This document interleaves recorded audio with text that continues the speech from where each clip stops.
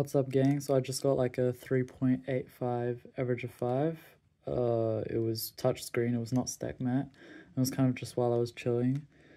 Um, and it was kind of one of those averages where it starts like good, like you've already got a good average and you just keep rolling it better. so this was kind of like the middle of one of my solves, but this was the first solve of the average. So it's good pour pour. And so it's three slices and I know this corner is going to stay in the front left once I finish the cube shape. And then we'll have this the rest of the pair over here. And then I can just do a U prime and then kind of like just do it really easily. And I'm also watching where these orange pieces are going to go because I'm trying to do some more second block prediction. But it's kind of complicated for this solve. I didn't really plan it. I was just um, looking ahead to it. But anyways, I went like this. And then it's actually solved. And it's just a J-Prime with flip. and that was a 3.4. Yeah, so at this point I was already on like a 4.5 AO5, so I was kind of like trying to get really good solves. And then I get good um, kite scallop. So that was cool. and then um, I also have, well, this orange corner is going to come to the front left. This edge is going to go straight to the back. And this corner is going to come to the top front left. So I can just do, uh, after cube shape, a slice, U2 slice, and that's um, going to be first block, orange. And then I'm also looking at this uh, red edge, which will be for second block, and it's actually going to end up, it's not going to move during first block, it's just going to be sitting uh, right at the back when I put, when I finish first block. So you, I did it like this, then I can do straight up just a slice, U2 slice, and then my red edge is still at the back. Then we have these two corners here, which makes a very easy M2 solving DF then I end up with this PL plus 1, which is just 6 slices, very easy. That last solve was a 3.88, um, but this one was a 5. It was the worst solve of the average. It's kind of just not very interesting. But, you know, at this point I was on a 4.2 AO5, so and that's already better than my PB. So, of course, I was trying to get really good solves. I ended up doing red because it's kind of nice. I'll just show you. Um, so it's shield scallop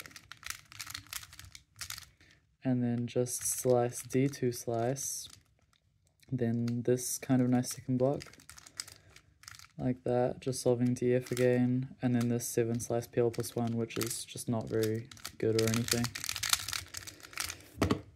This is Scramble 4, and when I saw it, I was, like, overjoyed, because, again, I was on, like, a 4.2 average or so. And then I see this Scramble, which is um, good. It's two slices to scallop kite, and when I finish first block, I just have to do an M2. Well, no, I have to do an M2 for first block after cube shape. And then my SB edge is just going to stay right here. Wait, it gets spicier actually because this corner, this red corner, which will be for second block, is going to join up with this, which does not get touched by first block. So I pretty much two-look this solve where when I do cube shape. Then I do M2, and I know this is not getting touched.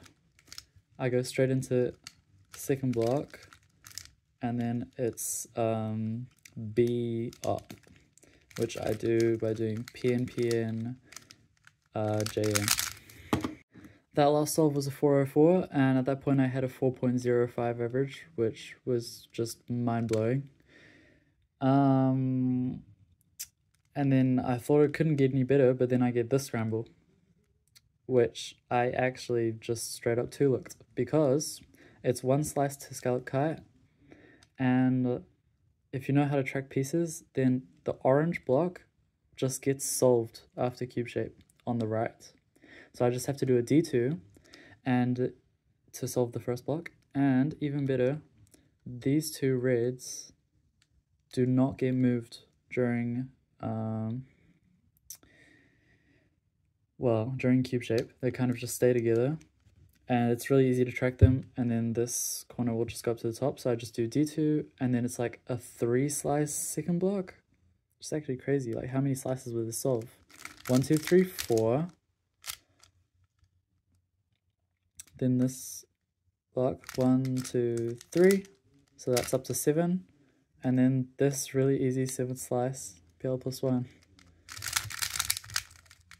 so 14 slice solve and uh, that solve was a 3.6, giving me a 3.8 average.